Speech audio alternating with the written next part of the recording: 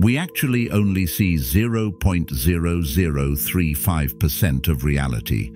We go through life believing that we just perceive reality without any control over it. Neuroscience has now revealed that our brains not only perceive reality, but create it. Our brains perceive things through sensory signals. The signals your brain receives are the outcomes of something, so now it makes assumptions based on prior experiences or beliefs about reality. Based on that, it makes a prediction for what will happen in the future. Look at this illustration, for example. At first glance, this looks like a regular checkerboard with the regular pattern, but even though it looks like box A and B look like they are different colors, they are the same. Your brain created the illusion that box A and B are different colors according to your memory or expectation of the regular checkerboard pattern.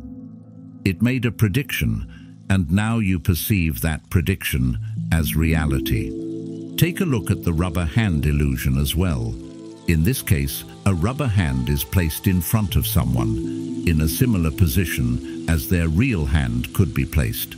Now, the real hand and the rubber hand are being brushed simultaneously, causing the brain to perceive the rubber hand as an actual part of the body.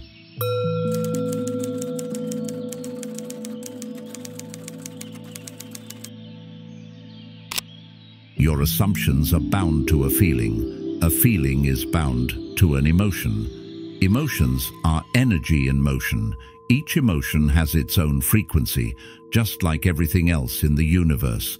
In quantum mechanics, there is something called the observer effect, which states that observing particles alters their behavior due to the wave-like nature of matter. That means that particles actually exist in multiple states simultaneously.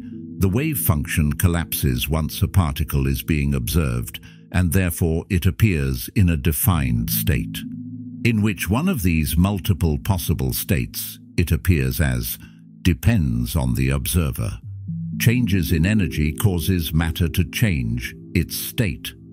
Our third dimensional reality is the realm of the physical, the realm of matter. Reality doesn't observe you, you observe reality. You give energy to reality through your emotions, which are energy in motion. You focus your energy with your attention. Your reality exists in multiple states simultaneously. It appears in a defined state based on the state of being you observe it from. Your state of being determines your frequency.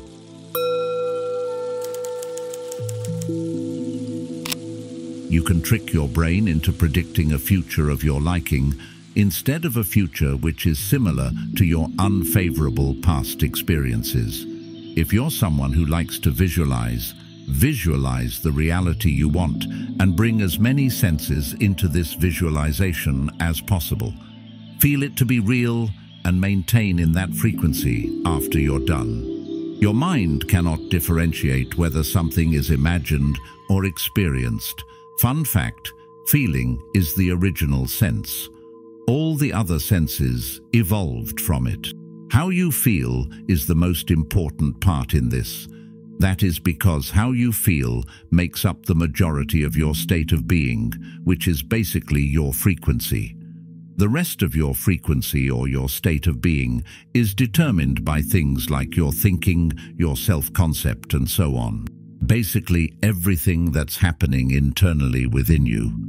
But not every thought you have becomes a part of your frequency. If it were like that, you would have manifested every single thought you ever had. But that did not happen, did it? That is because those thoughts did not have enough of your energy. Your energy is your emotions. Emotions are energy in motion. Only thoughts that are felt get into your subconscious mind, which controls your vibration. Frequency is the rate at which energy vibrates. Your state of being is the state from which you observe. It is the frequency you send out into the universe. If you visualize wealth, but you feel poor, then you are observing from an inner state of poverty. Therefore, your reality will appear in a defined state of poverty. Visualizations can be beneficial for manifestation, but it is your state of being that manifests because your inner state of being determines your frequency. The state in which matter appears to you is matching your frequency. Manifestation is not about the technique, it's about controlling your state of being. The technique does not do the manifesting, your state of being does. So, if your state of being is dependent on your outside reality, you will not manifest. Your reality will continue to be the way it is right now. If your state of being depends on whether or not your desire is already manifested in your external reality, then you are observing reality from a state of being that implies that you do not have whatever it is you want to manifest. Therefore, you not having it will be mirrored into your external physical reality. You can only have what you already have. You don't get what you want, you get who you are. You don't wait for something you already have to manifest.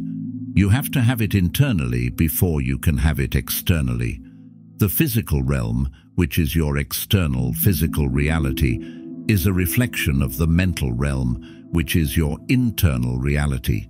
Once you have it internally, you will observe reality from a state of being that reflects your desired reality. That's when it manifests.